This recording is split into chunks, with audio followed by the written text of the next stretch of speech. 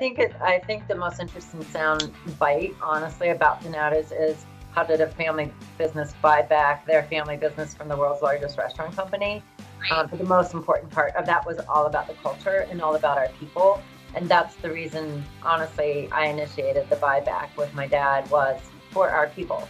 Not that I don't love our pizza because pizza's awesome, um, but definitely about the people because they are the people that not only got us through the times um, as we were growing and then times during a recession, but most recently the time with the pandemic and how challenging that was, not just on leadership, but really truly we were considered essential workers.